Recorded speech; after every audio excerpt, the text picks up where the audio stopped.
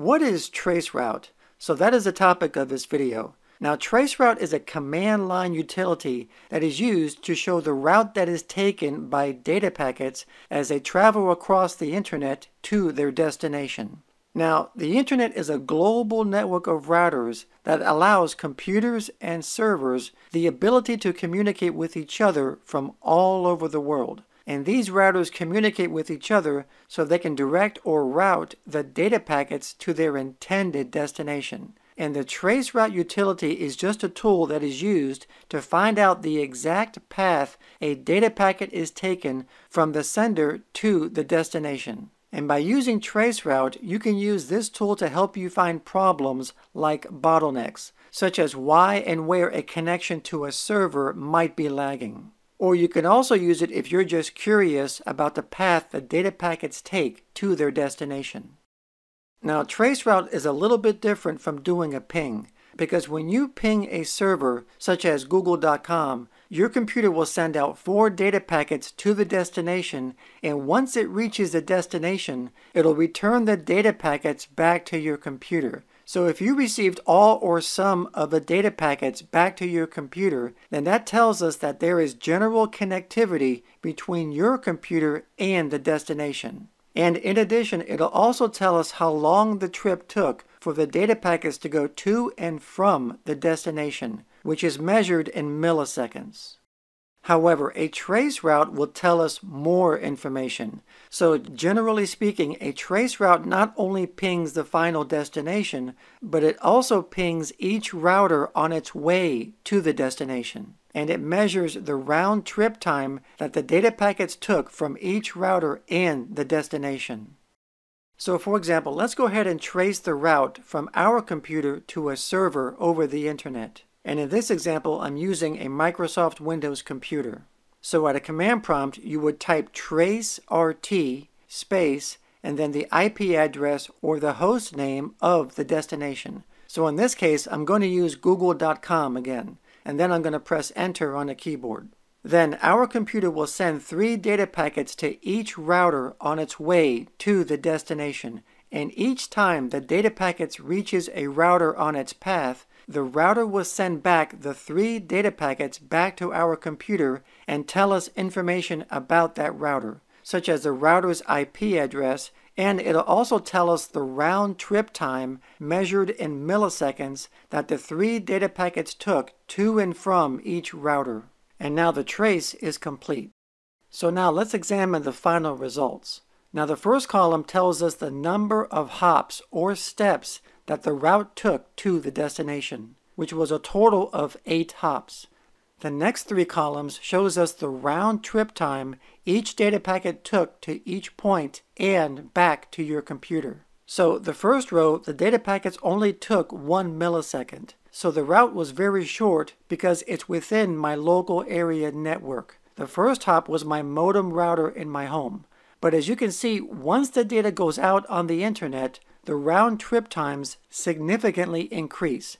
And the further that the data packets have to travel to each router, then naturally the round trip times will gradually increase, with the final destination being the longest round trip time.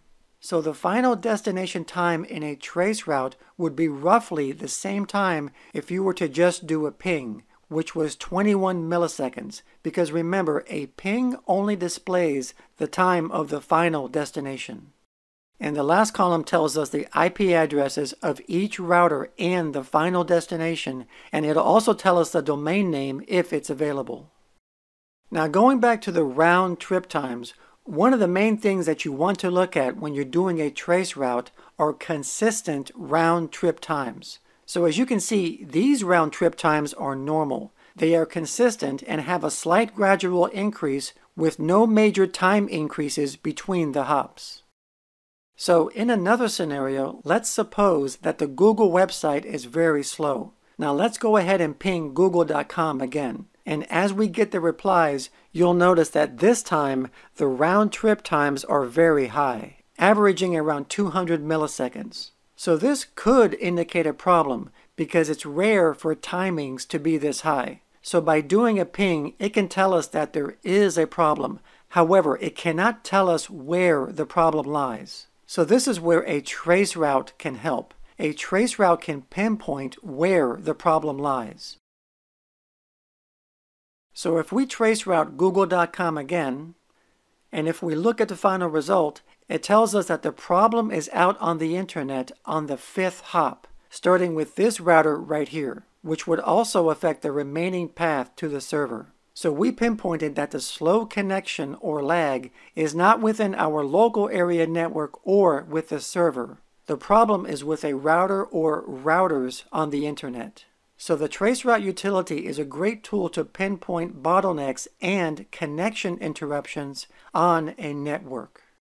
Now sometimes if you see high round trip times while doing a trace route, then this doesn't always indicate a problem. So for example, if you do another trace route, and if you happen to see a big round trip time in between a hop, then this doesn't necessarily mean that there's a problem with the router. It could just mean that the distance between certain routers are thousands of miles apart. For example, where the data has to jump over to another continent or sometimes you may see asterisks coming from a router. Now this could indicate that there is a problem with the router, or it could also mean that the router is working fine, but it wasn't configured to return traceroute replies, but the router still passed on the data packets to the next router.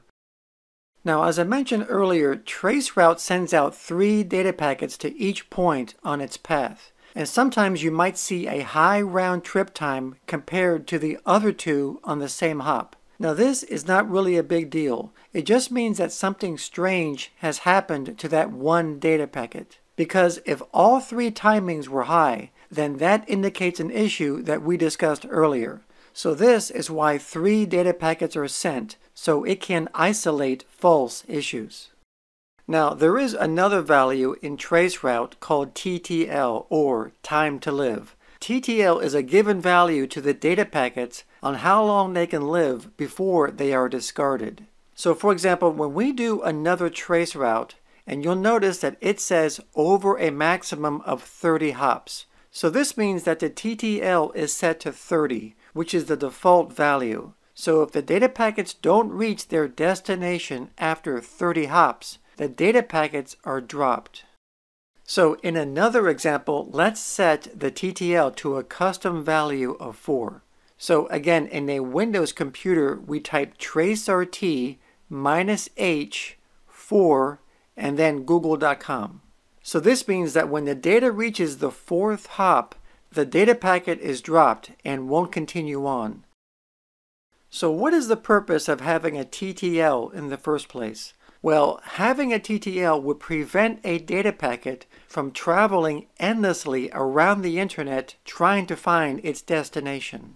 Now this can happen if certain routers on the internet were misconfigured. So for example, if there was no TTL limit, and when we try to do another trace route, and if certain routers on the internet were misconfigured, the data packets could be caught in an endless loop between these routers. So they would just keep on passing these data packets back to each other forever. And when this happens, it could slow down the internet because these routers are constantly busy dealing with these data packets. So this is why a time limit was placed to keep this from happening and wasting bandwidth.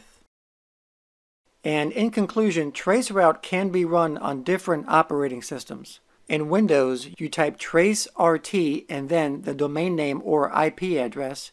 And in Mac or Linux systems, you type trace route and then the domain name or IP address. So thank you everyone for watching this video on traceroute. Please subscribe, follow me on Twitter, and thank you for watching.